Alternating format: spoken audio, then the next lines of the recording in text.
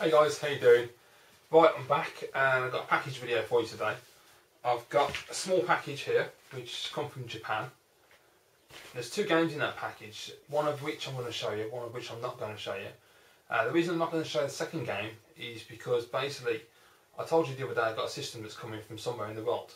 Um, the game in there is for that system, so obviously when the system comes, I can show you the game because if I show the game now, then it gives away what the system is. so, yeah. Other than that, the game that's in there I'm going to show you is uh, for an existing system. It's for the Super Nintendo, and it is a game I've been after for a hell of a long time. And quite frankly, I can't get the American version because eBay prices are ridiculous. Just for a, a normal mint condition box copy, you're talking well over a hundred dollars the majority of the time, and that is just insane. Even if I had that kind of spare cash, there's no way I'm laying that kind of money out because it's a game I want to play, but it's not a game that I'm a massive fan of. Um, now that's probably going to surprise people when they see it because it is a highly regarded game. However, for me, I played it once and I wasn't that impressed with it. I thought it was okay.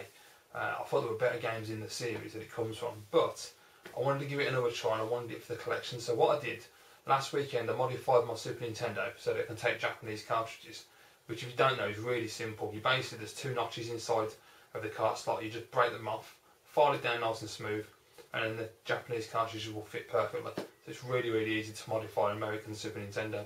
Same as the American N64, you do exactly the same thing. So yeah, so I've got that to show you, and before I show you that, I've also got a game from my Super Nintendo American collection, which, uh, I don't know why I'm pointing at it, because you know it's there, you can see. but I've got a game for that collection which came from Ninja's Castle.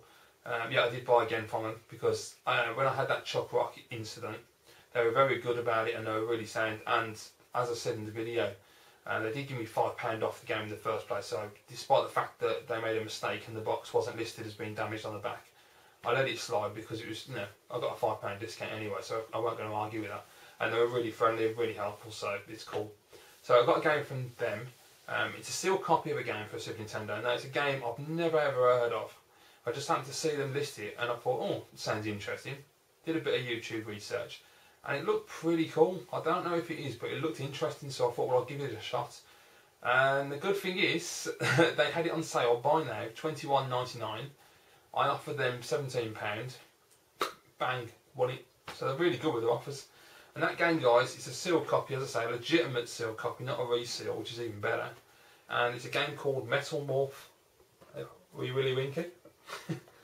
And how do you know if an American Super Nintendo game is legitimately sealed from the factory, you probably won't see it on the camera, but there's a, a seam that runs up there, a vertical seam. If a game is made, one of the first releases made in Japan, which are the best releases to buy, then it will have the vertical seal, seam. If they're the re-released ones made by Majesco in Mexico, which I detest and will not buy because they're crap, they've got a horizontal seam, so you can generally tell the difference. It hasn't got a seam, there's more than likely that somebody's resealed the box to make it look like it's a sealed game to charge more on eBay. So that's always something to look out for. Now on the back, if you can see the screenshots, it looks like a, a Star Fox kind of shooter.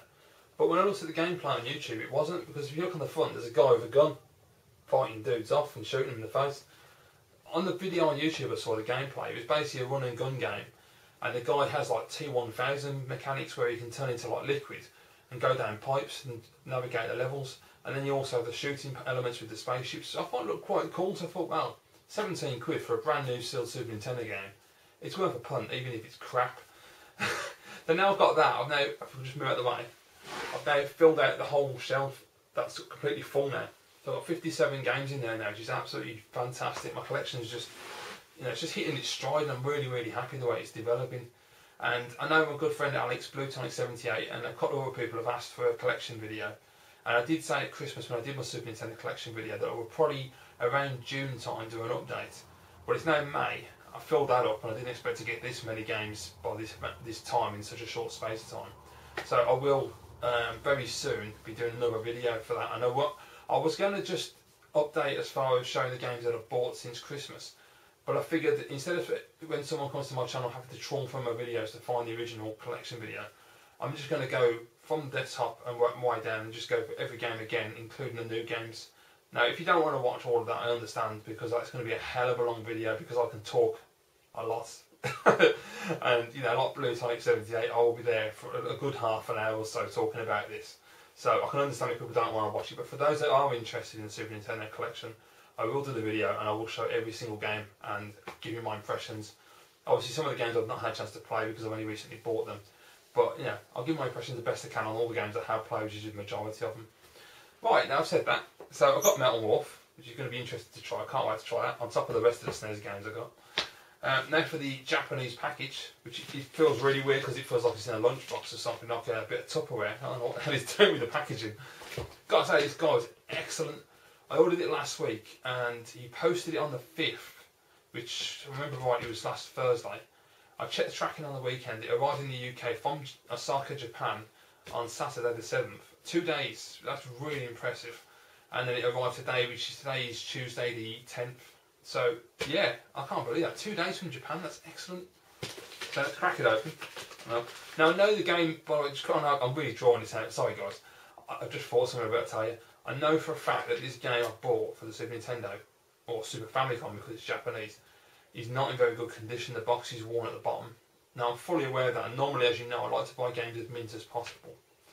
However, the price of this game, whether it be American or Japanese, is always over $100. And I, I mean, there have been a couple of Japanese ones I've seen less than that, but generally they go for 160 ridiculous prices. Some people charge like the American one, I've seen going with like sealed copies, people trying to get $600, which is just stupid because no one's going to pay that for the game. It's ridiculous. So I got this absolutely dirt cheap, considering the price of what they go for on eBay. So I can, I thought, well, the box is a little damaged, but I wanted the box copy, and I'm never going to get one of these cheap. So I thought, what the hell? Now I've built it up, it better be a good game, hasn't it? I think most people will agree that it's a good game.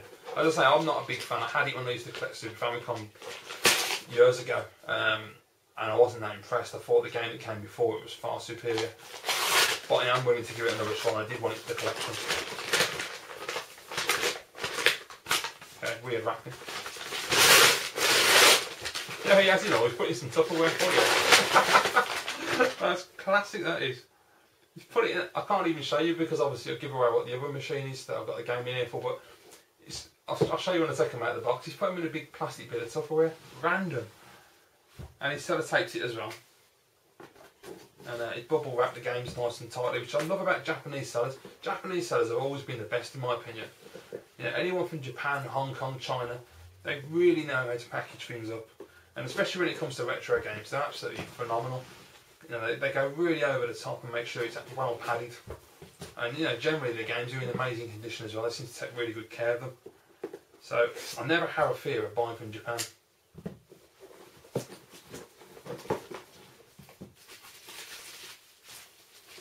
Right, there it is. Right. I'll take the game for the new, the new system out and put it to one side because, oh man, that looks beautiful.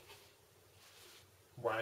Blue Tonic, or Alex should I say, you know what system I'm getting, and trust me, this game I've just got, you're going to be impressed with the condition, dude. That that is, that's really nice. I'm very impressed. Right, okay, so the game I got for the Super Nintendo guys, I'll just unwrap it. Man, it's really well packed actually. I'm quite impressed.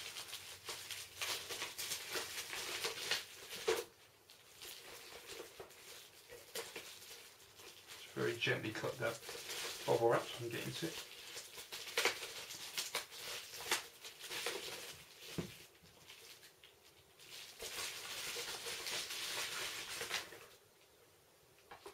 Actually, it isn't as bad as the photograph looked. It looked a lot more damaged on the photograph. Actually, yeah, I'm, I'm actually... Damn, I did get a bargain. I swear to God, man, the photograph made the bottom of the box look really, really worn out. That is spectacular. Oh man, what a nice bloke. That is, that's amazing. Yeah. Bargain. oh, happy now. I did not expect it to be in this condition at all. This is spec oh, superb. That is, for the price I paid, this is an absolute gem. Okay guys, I've stopped building it up now because I've milked it too much, but it is Castlevania Dracula X. And it is in really nice shape. I can't believe it. I mean, there's a little crease there. On the photograph, he had it like that lying down, and the bottom looked really, really badly worn, and it's just a little tiny bit there, if you can just see that. Hardly anything. Uh, do a blue tonic all in the box. There you go. I love Super Famicom. God, I had Super Famicom games for so many years. And just holding this reminds me of what I collected for the system. They're just beautiful. I mean, look at the artwork on that. You cannot beat Japanese artwork. It's fantastic. Even the back, the way they do the artwork there, the way they lay the screenshots out nicely, like a cinema kind of style. It's just beautiful. Yeah, it's absolutely fantastic. I'm really chuffed with that. 1995, 95. So yeah, I finally got Dracula X for this collection. Really happy. Now I've modified my Super Nintendo to play Japanese Super Famicom games. What I'm going to do is there's a few games that I like on the Super Famicom that you can't buy in America, such as the Parodius series. We got them in Europe, but never got them in America for some reason. There's a Pop and Twinbee game. There's uh, games like Xandra's Big Adventure I want to get. There's um, Cotton 100%. That's another game I want, which is like a weird shooter. Sandra's Adventure, if you've never heard of it, is the weirdest game. My friend had it when I was a kid because he had a Magicom for his Super Nintendo. If you don't know, Magicom is a copy device which allows you to copy cartridges to discs to three and a half inch floppies like the Amiga and ST. And he had shitloads of games because they were all pirated. And he had um, Xandra's Adventure, and Xandra's Adventure is basically the best way to describe it is a platform game where you play a massive jelly baby with a pitchfork. It's the weirdest. I was going to say the F word then, so it's the weirdest game I've ever seen. And I had it on my Super Famicom when I collected back in the when I don't know when I collected. I, about, I always get lost with time, but I think about 2006 I started collecting for the Super Famicom. That game is just epic, so I've got to get that again. And I'm just going to find out other exclusives that I don't know of that I can't get in America. Plus, there's going to be games such as Dracula X, whereby the price for the American copy just prohibits me buying it because I won't pay the price, so I'll get the Japanese version. And with that, I'll open this up and show you the cartridge and everything so you can see the condition. I'm really chuffed with that. I'm, you don't understand how happy I am, that's brilliant. I honestly thought that it was in really shitty condition. And I'll tell you how much I paid for it in a minute, and then you'll know why I'm happy. And the, the manual looks, in fact, the manual is mint. There isn't a mark on it. It's rigid. It's not at all bent or anything or out of shape. It's absolutely. Look at that. You can't love the Japanese. They are absolutely fantastic. I mean, it's just glorious. Look at the screenshots inside there. Absolutely spectacular. You know, when I did I'll be totally honest with you. At one point, I was considering when I got quite a lot of these games back here. I've got now I've got 57 now, so it's never going to happen now. But I did at one point consider selling the lot and then just going back to buying Japanese again because I really missed my Super Famicom collection. It was just an amazing, you know, it's a really good time because the games are, still to this day relatively cheap for the higher titles like the Mario titles like Mario World, Mario Brothers, Mario Bros, Mario World, Mario Kart, Mario All Stars games like the Street Fighter Alpha is pretty easy to get from Japan and doesn't cost a whole lot of money. I used to have a mint condition, perfect, as brand new copy of it. Now I had all the Street Fighters. Final Fight, I mean Final Fight 3, no matter what you get, Japanese, American, it's bloody expensive. But you can get bargains. I did get a bargain once on the Japanese copy for $24, which was a ridiculously low price. So yeah, I mean, I have considered that, but what I'm going to do now is I say I've modified the system, so I'm going to stick to my American collection because it's so large. Keep building that up. Plus, I get to play games in English, which is always a bonus and helps. And all the weird Japanese games I can't get from America, I'll buy them and put them on that. So there you go. Got the plastic tray and the cartridge, which is in fantastic shape because it's from Japan. There you go. So yeah, pins could probably do a little bit of a clean, but I can deal with that. Then as long as it loads. And uh, yeah, excellent shape. Absolutely bloody brilliant. I'm really, really, really happy. Just pop that back in the box. Can't put I'm really amazed by how good the condition is. Right guys, so yeah, I've got Dracula X. Now as I say, at the moment when I'm checking on eBay, American eBay, for the American version of this game, it's always over $100 for a second-hand copy. Sealed copies, you're talking anything from 150 bucks up to 600. The people who charge 600, and I think I saw one for 800 once, they're idiots because no one's ever going to pay those, those, those kind of prices unless you're a complete dickhead. Uh, I mean, I wouldn't pay $150 because it's just not worth it. The game's common, it's not rare at all in the slightest. Now, the Japanese copy, as I say, I've seen one other one recently which was allegedly mint condition, but it had a stock photo. And I did email the seller to find out if it was definitely complete, but he never got back to me, so it made me suspicious. And all in with shipping, he wanted fifty pound, which is a bargain. However, I just figured, well, he just seems a bit suspect, so I didn't touch him. And the other copies I've seen on there are nudging up to two hundred dollars for a mint condition copy from Japan. This is as close to mint as I'm going to get from the money I'm willing to pay. As I say, it's got a little mark there and a tiny bit of wear there, so it's.